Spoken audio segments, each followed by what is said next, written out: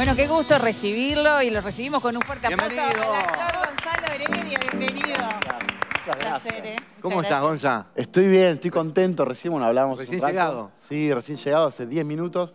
Eh, contento de volver a Montevideo. Montevideo es una ciudad que a mí me gusta mucho, particularmente, primero culturalmente, pero me gusta a mí la gente que camina por el centro con el termo y el mate en las manos. Digo, hay algo de la eh, de, de cómo toman la vida, de cómo llevan las cosas que a mí me, me simpatiza mucho. ¿Te daría para escribir algo? Siempre me daría para escribir. Bueno, en Montevideo es una, es una ciudad eh, sumamente literaria. Digo, a mí hay muchos escritores y muchas escritoras, empezando desde Onetti hasta ahora Cristina Peggy Rossi, que ganó el, el último premio. Eh, es, es una ciudad que a mí me, me gusta, me inspira para, para leer. Tiene algo de poesía, algo de nostalgia que me encanta. ¿Hace cuánto que, que nace este- esta faceta literaria? Porque todo el mundo sos mega conocido por tu faceta como actor. ¿Cuándo se desprende eso? ¿Estuvo siempre? No, creo que estuvo siempre. Es, es un poco eh, difícil discernir de lo que es como una cosa de otra. Digo, como eh, hay algo cuando uno eh, eh, intenta como expresar a través del arte cierto mensaje, ciertas cosas, eh, empezás como a buscar. Hay como una exploración. Y eso te puede llevar al teatro, te puede llevar a la literatura, a la pintura, a la música, lo que sea. Eh, si hablamos concretamente de la acción de escribir, yo escribo del taller mecánico de mi papá. Mi papá es mecánico y me acuerdo de estar sentado en su escritorio con olor a piezas de motor, eh, escribiendo cosas en, ¿Y qué, te- qué- papeles. qué te inspiraba para escribir? En ese momento, por lo menos. en el, ese- el no querer estar en el lugar donde estaba. Ajá. Hay algo de la... eh, creo que eso es eh, como el disparador siempre. Un escape. La necesidad de, De no... estar en otro lugar. De, de estar en otro lugar. Que pasa también con la lectura eso. Eh, Sí, sí, sí, tal cual. el, el- el mundo interior. Hay algo de la construcción del mundo interior que yo lo aprendí siendo autodidacta eh, y que descubrí a través de la literatura. Claro, para mí es fundamental eso, la escritura. Me parece que es el puntapié inicial para eso que decís. hay- Porque vos podés interpretar un personaje, pero eso viene escrito desde antes. O sea, esa historia. Tiene mucho que ver, mira, la, la actuación con la literatura, por lo menos lo que a mí me pasa, esto de crear, crear eh, mundos, de crear universos, desde la psicología de un personaje, del entorno, el contexto, la atmósfera, hasta eh, construir este universo dentro de, no sé, una, una novela, lo que Claro. sea. Hay algo de la psicología de los personajes que también literariamente es útil. Totalmente. Y es donde puede- se puede conjugar y donde se puede mezclar la realidad con la ficción. Es el Me único encanta, lugar. Me encanta eh, lo que es la realidad, la ficción, esa línea eh, entre ficción y realidad me, me gusta, me gusta mucho. ¿Ahora querés perfeccionarte? ¿Vas a hacer una maestría? ah, muy bien, estás Creativa. informada muy Ah, bien. se informa bien la producción bien. A nosotros nos traen a las 4 de la mañana acá y damos exámenes antes de hacer el Me programa. encanta. No, yo, sí, está bueno, esa, esa pregunta está buena. Eh, yo no terminé el secundario, no terminé lo- los estudios. Es algo de lo que me arrepiento muchísimo de no, no haberlo hecho. Eh, dejé en tercer año, después intenté hacer el colegio a la noche, en la nocturna, y tampoco pude. Empecé a hacer casting de publicidad y esas cosas. Eh, empecé a trabajar como prontamente y, y ahora eh, me dan ganas, tengo ganas de hacer la maestría. Es una maestría que, que es en una universidad allá en Buenos Aires, es, de la UNTREF, en donde es maestría, maestría en escritura creativa, donde lo dicta la directora es María Negroni, que es una gran escritora argentina. Y tengo ganas por lo menos de ir como oyente. Eh, no, no voy por un título, simplemente para seguir... eh, Para enriquecerte Sí, más. sí. Sí, a ver, seguir a ver eh, herramientas. qué te perdiste de repente, ¿no? Sí, y, a- y aparte, para un lector no hay nada mejor que te recomienden muchas lecturas. Yo ya estoy como en el punto en donde sé que no voy a leer la cantidad de libros que me gustaría leer, Claro. pero por lo menos quiero saltear y por lo menos quiero husmear y por lo menos quiero saber qué dejo de leer. Pero ¿qué, qué- qué te despierta interés? Cuando querés elegir un libro, cuando querés elegir una lectura, ¿a dónde vas? ¿A dónde No, apuntás? hay una, mira, hay una, hay una frase que define eso, que es una frase de Abelardo Castillo, que es cuando uno lee, empieza a armar como una especie como de, de red o de, de familia literaria, en el sentido de que un escritor habla de otro escritor, de otra escritora, y vos vas como salteando y buscando de un lugar a otro, ya no tanto por la historia, sino por la voz narrativa. Cada escritor, cada escritora tiene una búsqueda personal Y eso te das cuenta en las diferentes novelas que he escrito, en el caso de Donetti, por ejemplo, de Cristina Rossi, que ahora lo último que leí fue una novela de ella, creo que fue la última, se llama La Insumisa. Tremenda. La súper recomiendo si, si alguien la leyó. Escribe muy bien, Cristina, escribe muy bien. Entonces, eso va- vas, vas como construyendo esta especie de, de- de red. Y entonces, cuando uno busca eh, una lectura nueva, a mí me pasa de buscar una voz narrativa. Si, no sé, tengo ganas de leer algo como más relacionado con la naturaleza o con las descripciones, ah, me gusta Héctor Tizón, que es un escritor argentino de, de Yala, creo que es, en donde abundan esas descripciones de la naturaleza y demás. Entonces ya va- vas buscando como la, la voz narrativa más que Claro. ¿Y cómo lográs el poder de concentración? Porque con trabajo, con todas las plataformas niños. que hay, familia, niños, digo, No, lo de la concentración para mí es relativo. Yo creo que la literatura está muy relacionada con esto de sentarte eh, con la pipa y con el lugar prendido en un sillón y ahí recién. Lo más probable es que no leas en ese momento. El momento ideal. Sí, Uno no hay un momento ideal. Todos los momentos Niños son ideales. saltando y Ah. demás. estamos leyendo constantemente en el celular. Entonces, digo, la- lo, lo que pasa es que no está la costumbre de, en esos momentos, abrir, sacar un libro de la cartera, del bolso donde y ponerte a leer. claro. Pero es- se puede hacer. Entonces, no creo, no, no, no, no soy fundamentalista. No existe el momento ideal para leer. Ah. Ahora ¿Desnudos lees? Desnudos leí, desnudos leí, desnudos he leído y desnudos seguiré leyendo. Vamos a seguir leyendo acá también en Montevideo. Eh, la verdad que estamos muy contentos eh, de venir con desnudos acá a Montevideo porque piensen que íbamos a venir en el 2020. Eh, No, no, no. De hecho, están todavía los carteles deben estar pegados en el teatro. Sí. Eh, porque bueno, pasó lo que pasó y mm, como decía hace un rato al principio, eh, es una ciudad que consume mucha cultura Montevideo.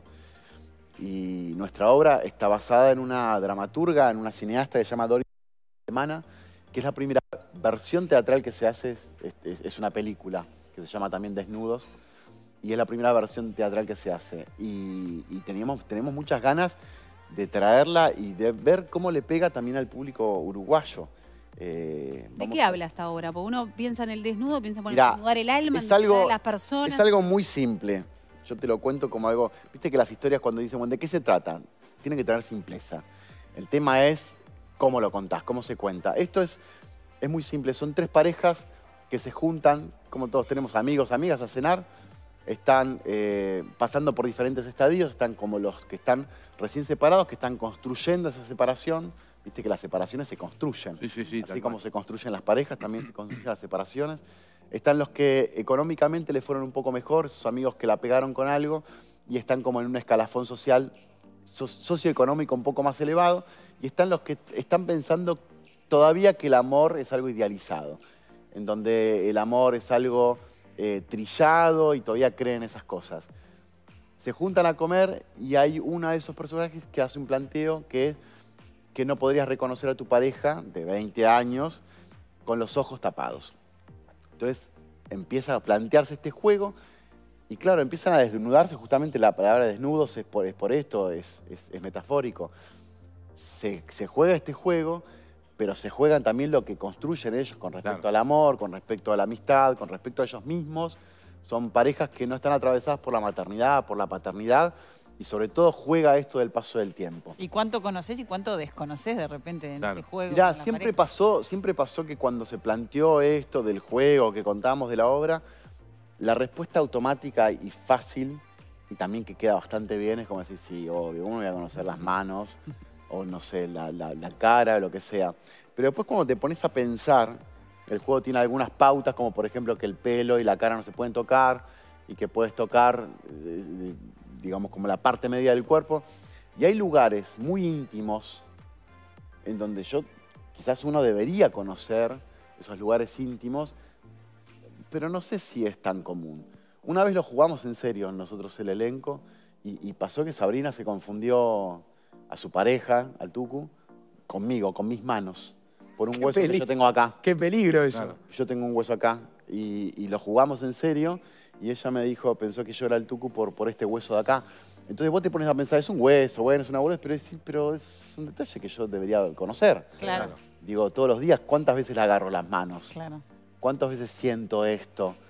Bueno, esas cosas eh, habla la... ¿Y cuántas parejas después de ver la obra de repente Mirá, no- nos pasó también, me acuerdo, intimidad? me acuerdo, sí, sí, y me acuerdo también un- unos vecinos eh, nuestros, justo vivían enfrente de casa, que nos contaron de que bueno, que les gustó mucho la obra, que hablaron, no sé qué, y me contaron algo que es genial, que es lo que pasa cuando va al teatro, uno va al teatro con su pareja, tenés el viaje de ida, La charla posterior es. y claro. después tenés el viaje de vuelta, solos, en el auto, en silencio. ¿Ya?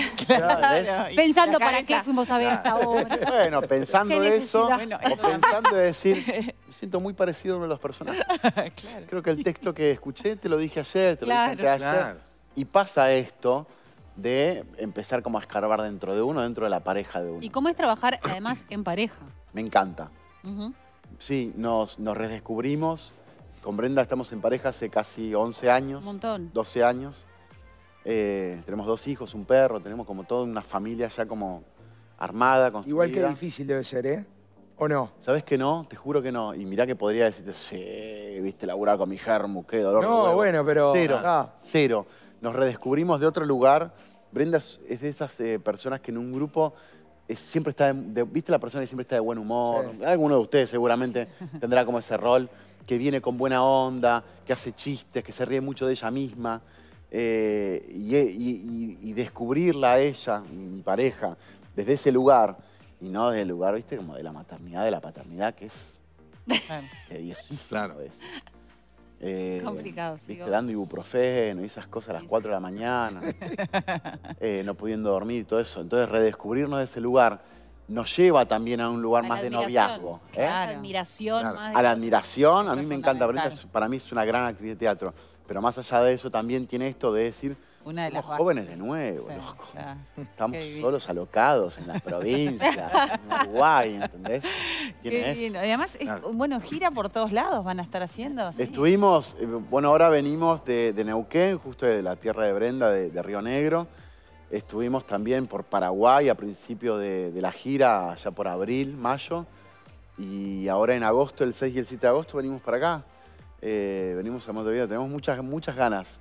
Yo tengo muchas ganas de dar vueltas por las librerías de viejo que, que- que ya las he conocido. Eh, pero más que nada también por curtir un poco de noche, un Claro. poco de salida Claro. montevideana. Pocas.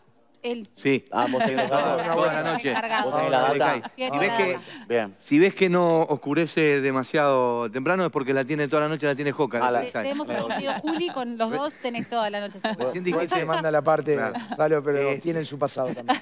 De todo tenemos el pasado. Olvidate. Tienen su pasado que los condena, además. Claro, claro. Tienen su pasado que los condena, Claro. además. Recién este, decías, eh, bueno, esto íbamos a venir antes de la pandemia Sí. y todavía está la cartelería. Sí. ¿Qué te dejó la pandemia?